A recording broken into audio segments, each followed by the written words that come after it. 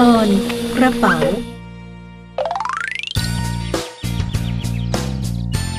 ผู้หญิงคนนั้นมาหาคุณแม่พี่เก่งทำไมนะ เขามาขอยืมเงิน จะต้องเอาไปเสียค่าเล่าเรียนให้ลูกทำไมเขาไม่มีเงินล่ะ เขาไม่ได้ทำงานเหรอทำเขาเป็นกระเป๋า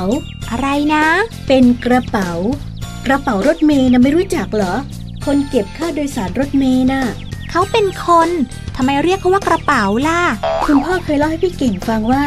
สมัยก่อน คนเก็บค่าโดยสารรถราง หรือรถเมย์ต้องสะพายกระเป๋า คงเป็นเพราะว่าเขาสะพายกระเป๋า จึงเรียกกันว่ากระเป๋ารถเมย์คำว่ากระเป๋า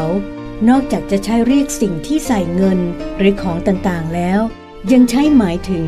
พนักงานเก็บค่าโดยสารรถเมย์หรือรถประจำทางอีกด้วย แล้วพบกันใหม่นะคะ